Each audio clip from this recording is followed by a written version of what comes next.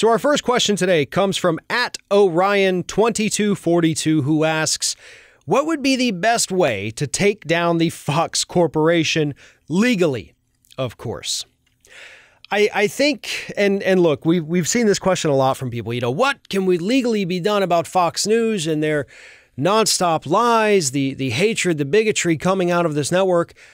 And I hate to say it, but legally speaking, there is nothing that can be done. There have actually been court cases, uh, not unironically filed against Fox News, that have basically ended with the ruling saying that the media can legally lie. So that's, you know, they, they have the right to do it. Now, they don't have the right, obviously, to uh, slander anybody. You know, they can't libel, but anything short of that, it, all bets are off, right? I mean, we do have freedom of speech here in this country. They're allowed to do this both under their, their constitutional protections and uh, the, the court rulings on the issue.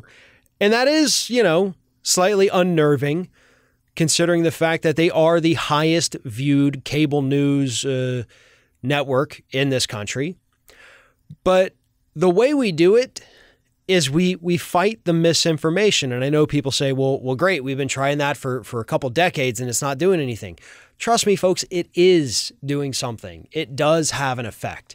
You know, when you look at groups like Media Matters, you know, they, they've been doing this for what, 15 years now? They're very good at what they do. You know, they they help take the people who may or may not believe what Fox says, maybe they're unsure of it. And Media Matters does a great job of saying, listen, no, this is not true. And not only that, here is the truth. Now, in recent years, with the, uh, you know, uh, kind of explosion, I guess, of, of, of progressive and leftist media on on YouTube and Twitch, those folks have done a phenomenal job of doing it as well. We do it here on our uh, Ring of Fire YouTube channel, trying to fight the constant misinformation coming out of that network. And so that really is all that we can do. And here's the other side of it that some people may not want to hear. It's not just the lies and bigotry coming from Fox News it's also the bias, the pro corporate bias that we see coming out of other corporate media outlets. You know, uh, CNN is absolutely awful. They truly are. And I think a lot of people seem to have forgotten that because, yes, a lot of the hosts really seem to not like Donald Trump. Sometimes they ask really tough questions of people from his administration and they make them look foolish. CNN is also super ready to launch us into another war the second they get the opportunity. Comcast, uh, who runs MSNBC, is a huge, was a huge supporter of the TPP. You know, Comcast is not a good company, and they own MSNBC. So we always have to be skeptical, not just with Fox News. And MSNBC, out of all of them, is the one that's you know not necessarily going to lie to your face.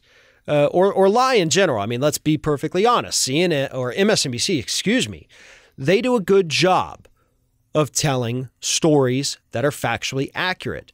The issue, and some people miss this when you talk about corporate media is bad. The issue is not that they're lying; it's that they're not covering everything. Um, you know, and and so the the corporate board of directors, whether it's an MSNBC or a CNN or even a Fox News, they do dictate. I know Bernie Sanders took a lot of heat recently for his uh, statement on Bezos in the Washington Post. Well, folks, that's not inaccurate. That is how things work. They may not sit there and walk down to the reporters and say, you can't talk about this. But everybody knows Krystal Ball with The Hill TV has been talking about this. She, she worked at MSNBC. She knows this.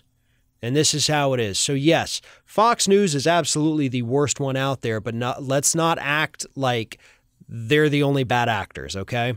I, I do think we need to take these other networks to task for their uh, omission of stories and, in the case of CNN, for their constant beating of the drums of war. So, thank you uh, for this question.